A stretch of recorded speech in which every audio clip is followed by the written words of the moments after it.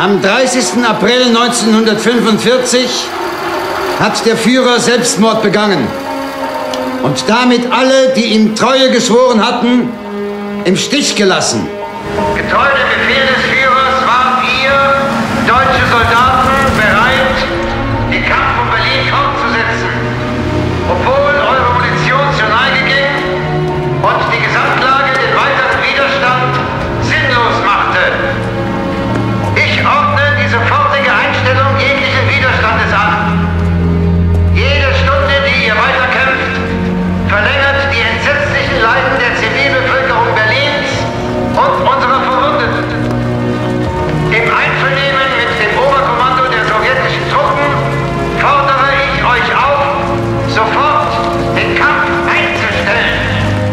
Weitling, ehemaliger Befehlshaber des Verteidigungsbereichs Berlin.